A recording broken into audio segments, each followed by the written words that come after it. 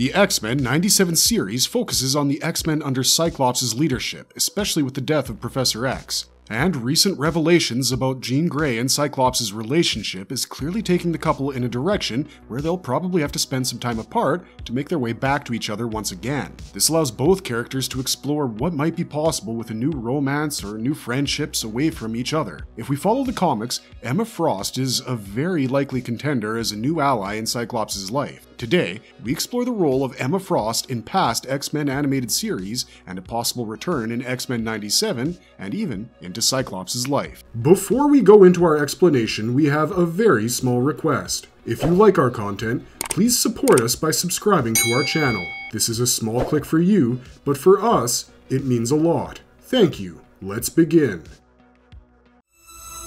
She's asleep. I'm in her mind. Her defenses are down. Role of Emma Frost in X-Men, the animated series. Emma Frost made her first appearance during the Phoenix Saga when she was alerted to Jean Grey's Phoenix Force powers by a telepathic ripple. Working as the cunning White Queen of the Hellfire Club, Emma had planned to exploit Jean's Phoenix powers for their own gain. She hacked into Professor X's database, exploiting his then weak telepathic defenses to gain more information on Jean Grey and her Phoenix Force powers. Emma shared this information with the other members of the Hellfire Club's inner circle who were searching for powerful recruits to aid in their cause and decided to go after Jean. With the help of another mutant named Mastermind, Emma used her telepathic powers to manipulate Jean's mind. The X-Men tried to prevent this, but they were too late, and under Mastermind's control, Jean joined the inner circle of the Hellfire Club. Mastermind's control over Jean was only temporary due to Jean's Phoenix Force powers overpowering him. Jean then helped free the captured X-Men, who defeated the inner circle club, causing them to flee. Emma Frost was also among the psychic mutants who were captured by Apocalypse during the Beyond Good and Evil arc, where Apocalypse had planned to rewrite reality using the psychic mutants' powers in the axis of time. Emma Frost's short appearance in the X-Men series captured her comic book counterpart's sophisticated ruthlessness, making her a perfectly compelling villain for the X-Men. That's right. Clear your mind.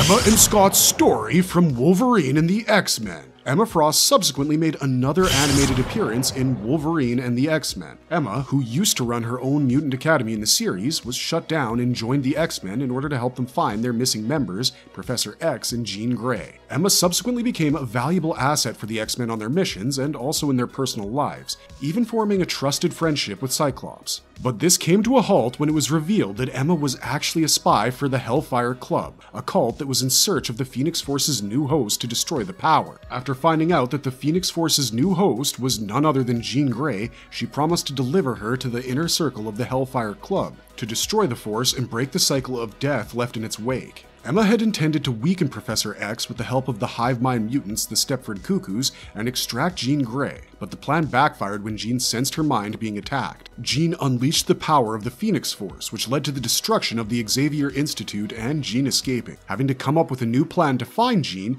Emma put Professor X's comatose body on the shores of the mutant nation Genosha and used the X-Men to find the missing Jean Grey. After finding Jean, Emma and the Stepford Cuckoos decide to enter Jean's mind and remove all of Professor X's mental blocks. However, this ends up failing as well because Jean, due to her psychic link with Cyclops, understood that her mind was being invaded and cast out Emma as well as the Cuckoos. Emma then requested the Hellfire Club postpone their plan regarding the Phoenix Force as she needed Cyclops to control Jean's mind, but got mocked in return for her attachment to the X-Men. The inner circle of the Hellfire Club revealed that they had changed their mind about the Phoenix Force and wanted to use its power to cause destruction. Emma warned about the Phoenix Force being too powerful to be controlled and advised them to not go forward with their plans until she could return. Emma later decided to sacrifice herself to contain the Phoenix Force by making it hit her body, leading to severe wounds. Emma's final words were to Cyclops, asking for his forgiveness, and then dying by explosion with shards of her diamond form falling from the sky.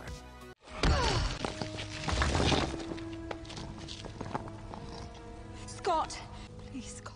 Will Emma Frost return in X-Men 97? At San Diego Comic-Con 2022, characters who will be making their return in the new X-Men 97 series were announced. The Hellfire Club's inner circle, which includes Emma Frost, were among the members who were announced to make their return to the new series in the second half of the first season. Emma Frost will probably be shown in a more antagonist heavy role, as she might be shown working alongside Mr. Sinister, Morlock leader Callisto, or even government agent Val Cooper. Scott, if the choice is leaving us or letting go of Jean, then let me try. How Emma Frost might enter Cyclops' life. Emma Frost might be returning as an antagonist in X-Men 97, but that doesn't completely rule out her getting involved with the X-Men as an ally or completely turning to the good side and joining the X-Men. After Cyclops' recent trials and tribulations of marrying a clone of Jean Grey and having to separate from his son Nathan after he was sent to the future because of Mr. Sinister's virus, it's not exactly a tough guess that Cyclops has taken quite a few heavy hits in just a few episodes, and with Mr. Sinister being geared up to be in the forefront once again, Cyclops will probably not be catching a break anytime soon. In addition to that, the real Jean is back, but her absence from Cyclops' life will probably create a distance that may need some time to reconcile. This positions Emma Frost as a probable contender to become Cyclops' romantic partner in the second season, or maybe even in her upcoming season 1 appearance. This isn't a far fetched guess at all, as Emma and Cyclops did become a proper romantic pairing in the comics. In the new X Men comics, Cyclops and Jean's marriage faced a similar rift like in the X Men 97 series,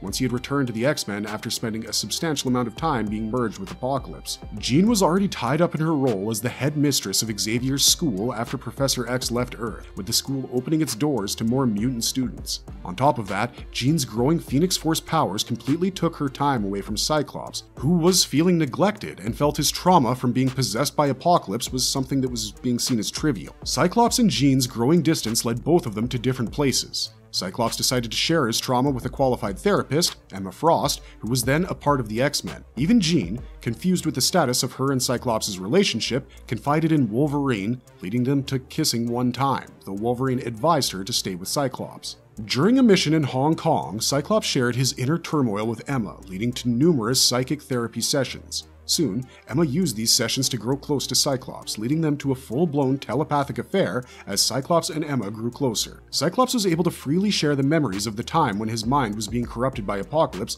something which he had failed to share with Jean up until that point. Emma, who was also going through an identity crisis as she grew distanced from her students, found solace in Cyclops. However, it wasn't a surprise that Jean ended up discovering their telepathic affair, and what a show it was as the panel showed Jean walking into the room with Emma and Cyclops in bed. Once Jean discovers the telepathic affair, she goes through Emma's hurtful memories to make her confess about her and Cyclops' actual affair. The two walked through Emma's memories from her childhood when she left her family to create her own path in life, becoming a dancer at the Hellfire Club by using her powers to make men see whatever they wanted, and then becoming the White Queen by working alongside the Black King. Jean even made Emma relive her memories of seeing the bodies of her deceased students, breaking her into tears. By the time Jean reached Emma's memories from their night in Hong Kong, Emma was able to break out of Jean's telepathic control with Cyclops intervening by breaking the door to their room using his laser vision. Cyclops made Jean go through his memories instead of Emma's, making Jean realize Emma and Cyclops never engaged in anything physical. Emma, though, later confessed to Wolverine that she was genuinely falling in love with Cyclops.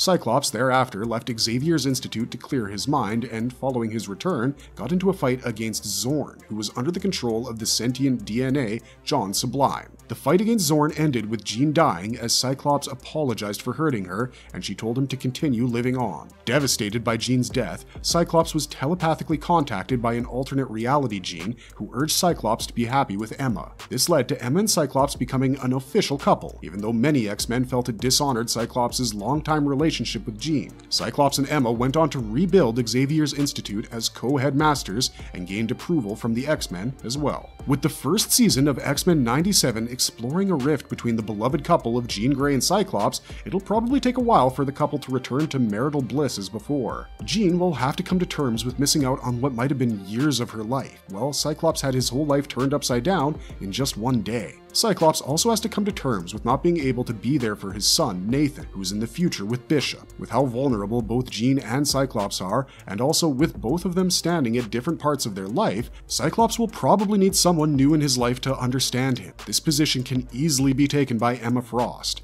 Jean too seems to be going in the direction of what might be a bit of closeness to Wolverine, as when he tried to calm Jean and make her focus on his mind, she came to fully realize what she meant to him. If these dynamics are to be explored, then X-Men 97 can go in a unique direction where new aspects of both Jean and Cyclops' personality can be shown. With this, Emma and Cyclops' relationship might be a safe bet, as she will be making her reappearance really, really soon in X-Men 97. Summers. She knows what she's doing. Now let's go! Marvelous verdict. With a precedent already set in the comics, Emma Frost is quite the contender to become a new ally and emotional support for Cyclops as he goes through what seems to be a continuous streak of bad fate. With Cyclops and Jean's relationship left hanging in question, and him losing his child with Jean's clone, what was seemingly a happy life came to a halt. It remains an intriguing mystery to see what direction Cyclops will take after this recent turn of events, and with the confirmed return of Emma Frost, one can only hope that the two may cross paths with each other sooner rather than later. That's all we got for you this time, True Believer, but don't forget to like and subscribe for more X Men 97 content, and we'll see you in the next one. Scott! Please, Scott. Don't leave me.